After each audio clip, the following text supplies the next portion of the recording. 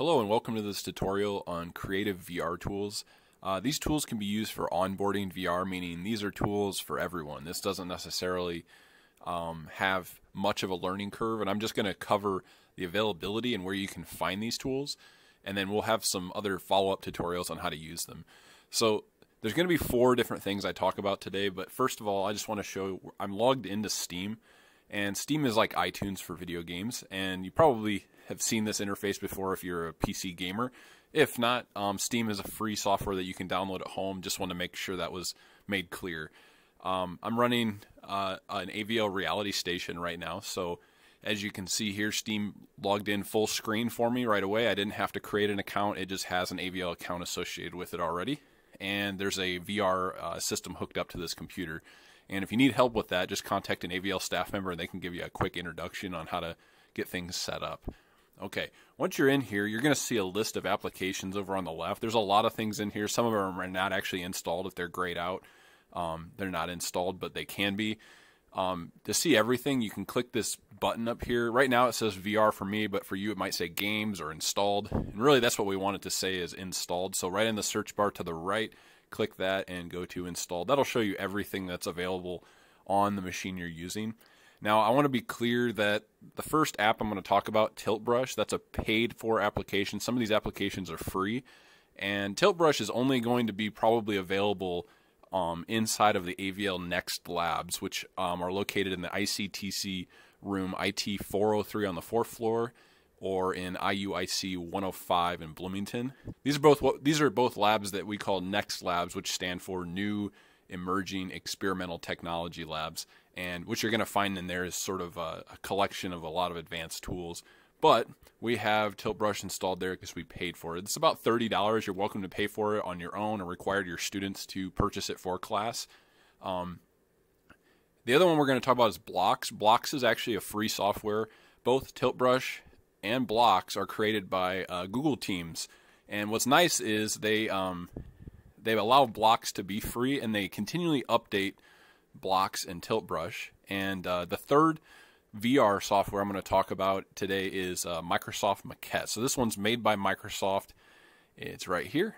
And Microsoft Maquette is essentially just like blocks and tilt brush, but sort of combined. And they keep they keep updating it, sort of a competitor. But it also interplays a little bit with the fourth thing I want to talk about, which is Google Poly. And this is kind of the meat of this this overview right now because I want to get you set up. So Setting up Poly is simple. Just open up a web browser and go to poly, P-O-L-Y, dot google dot com. Once you're there, um, you can sign in and use your IU um, username actually. So as IU uh, folks, we, we have a relationship, the university has a relationship with Google, which allows us to interface our uh, regular IU usernames with Google. So I'm going to type in mine.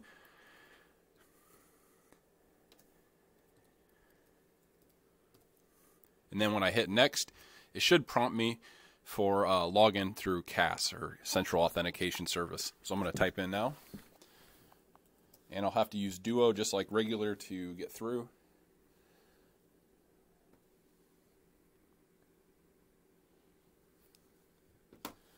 Okay, so now here we are, and I'm in Poly, and it, they put the first letter of my first name up here to let me know I'm logged in. And what's great about this is Poly has like all kinds of stuff out here to inspire you. So what I did was I clicked these three or four lines up here that opens up this this sort of side menu. And if you go to say like Tilt Brush, you'll find there are lots of uh, creations that people have made and published, but they've created these in VR headsets in in uh, Tilt Brush in that in that application, and then uploaded it to Poly.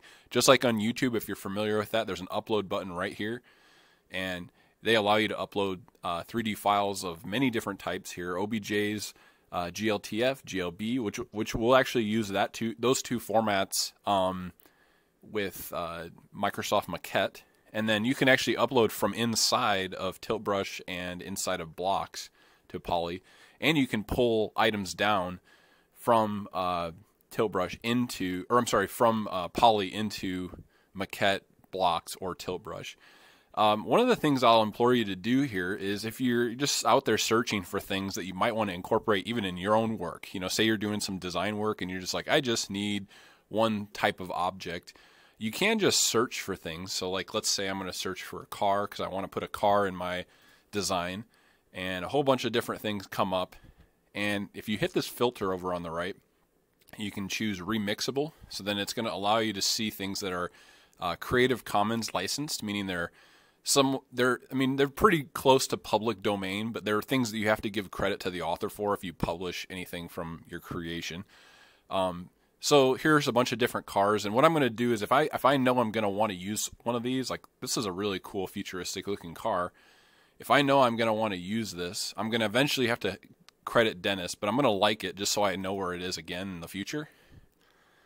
So they're going to basically say, you know, if you like this, it's going to, um, it's a public action. People can see that you've liked it. So anyway, I'm going to, I'm to say, got it, like, and it's loading the model right now. What's cool is I'm on a desktop and I could access this model with a, uh, a cell phone or even um, in a VR headset. Um, for right now, this model is pretty heavy. I'm going to go back and load up something that's a little simpler, like this red car here. This looks like something that was probably made in blocks, if I had to guess. And I'm going to like that as well. Yeah, and there it is. So this is the value of it, right? So you can share this and people can get to it on their desktop or their cell phone, and it's just this sort of tumble or rotate 3D interface. Pretty simple. And you can full screen it, of course. And there you have it. So I would uh, basically encourage you to um, look around on Poly and find things that you might want to remix. Um, that's a good way to get started, or at least learn how other people design things, and uh, and then and then we can actually use the other tools that in, in inside of uh, Steam, like so in Blocks and in Maquette and Tilt Brush, you can actually log into your Poly account um, from there and actually find your favorites. So that's the reason I asked you to uh, like certain objects on Poly. Okay, so I'm going to open up uh, Tilt Brush and uh, get started and move on to the next tutorial uh, to see, see an overview of this interface.